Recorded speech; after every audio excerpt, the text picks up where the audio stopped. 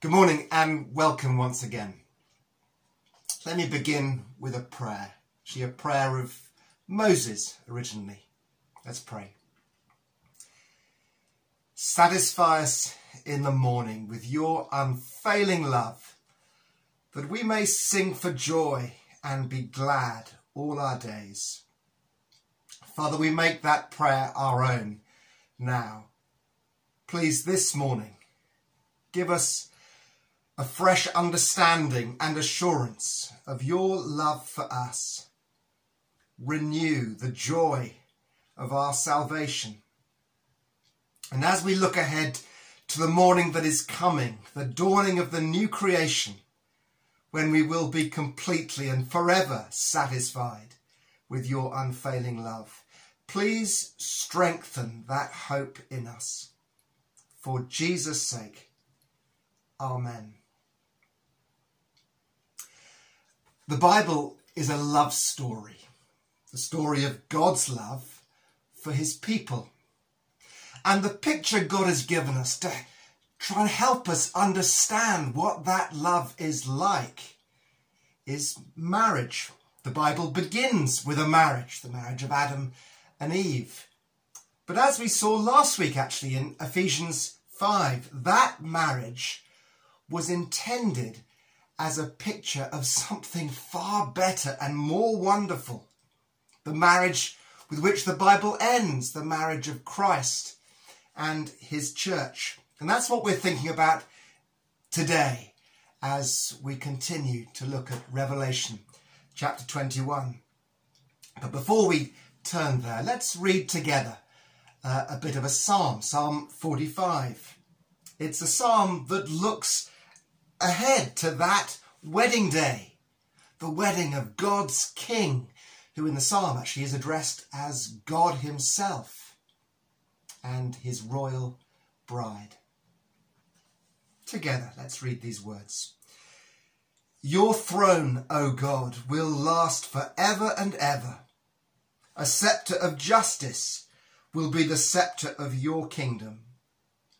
Your, you love righteousness and hate wickedness. Therefore, God, your God, has set you above your companions by anointing you with the oil of joy. All your robes are fragrant with myrrh and aloes and cassia.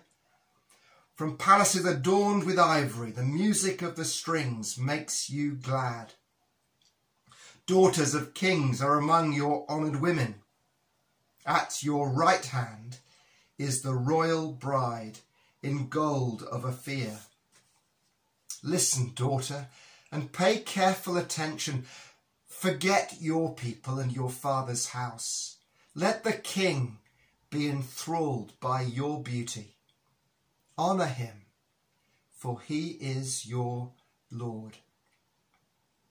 It's a lovely picture, isn't it, of a, a groom. In this case, a groom who is majestic and utterly righteous, absolutely good and glorious, and anointed with joy, the, the joyful anticipation of any groom on their wedding day, enthralled with the beauty of his bride.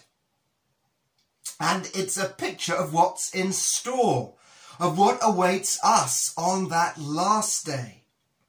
Let me read from Revelation 21 now. We're just looking at half a verse today, but I'll read a couple of verses from the beginning of the chapter. Then I saw a new heaven and a new earth, for the first heaven and the first earth had passed away, and there was no longer any sea. I saw the holy city, the new Jerusalem, coming down out of heaven from God, prepared as a bride, beautifully dressed for her husband. If you were to say to a bride, she looks like a city, that probably wouldn't be heard as being particularly flattering. But when this city is said to look like a bride, it's saying something wonderful. For the city, as we saw yesterday, stands for God's people, the church. The moment we don't look all that great or beautiful. But on that last day, we will be dressed not in the, the shabby robes of our own righteousness, but beautifully dressed in the perfect robes that Christ has won for us, with not a single stain, all sin gone, all that spoils gone. And the Lord Jesus, as it were, will have eyes for no one else, like a groom seeing his, his bride walking down the aisle towards him to begin a new life with him. So the Lord Jesus will see us as a bride beautifully dressed for her husband. He, of course, has loved us from eternity, from before the creation of the world. It's a love that has been constant and unfailing. It's a love that is costly and sacrificial to win us as his bride.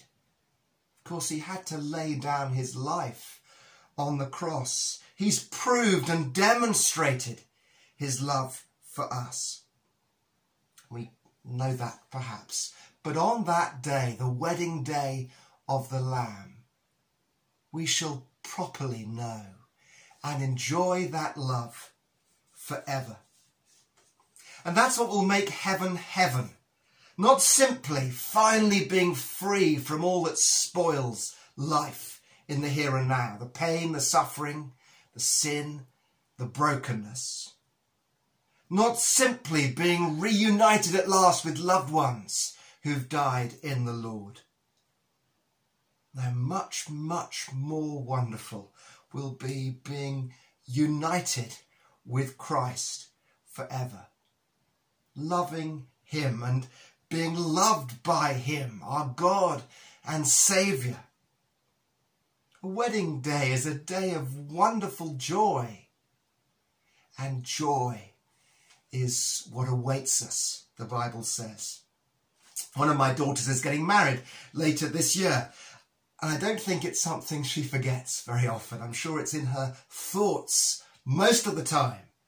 And it's something, of course, she's looking forward to greatly. But we have something, each of us, even more wonderful to look forward to. The preparations have all been taken care of. Jesus has done it all. It's all been paid for. Everything is ready. It's what Christ has been looking forward to from before each of us was born.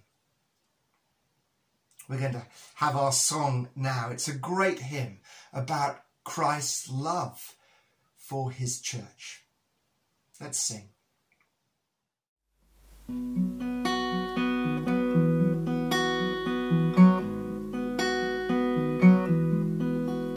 The church's one foundation is Jesus Christ her Lord. She by water and the word. From heaven he came and sought her to be his holy bride. With his